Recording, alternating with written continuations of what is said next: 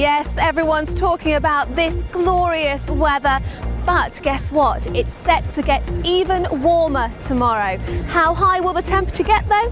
I'll tell you shortly. Leaks. Giant leaks in these Well, they'll need to fix that, won't they? No. They certainly will, Dominic. well, a glorious day there at Hardwick, and it has been stunning right across the East Midlands, and it will be continuing for the next day or so before we start to see those temperatures coming down. However, this time of the night, it, uh, year, sorry, it does mean overnight it will be quite chilly under the, the, those clear skies. Firstly, first photo tonight, Paul Blackwell taken this morning in Loughborough Park.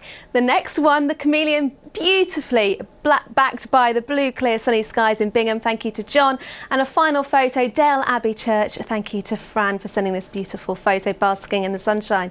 Well, the reason for all the settled conditions, the high pressure, it's still with us. It's sitting right across the UK and it will continue to dominate for at least the next 24 hours before things start to slowly change, which means overnight tonight we're dry, we're settled, we've got clear skies staying with us. Underneath the clear skies, temperatures will suddenly start to fall very quickly, so a chilly night ahead.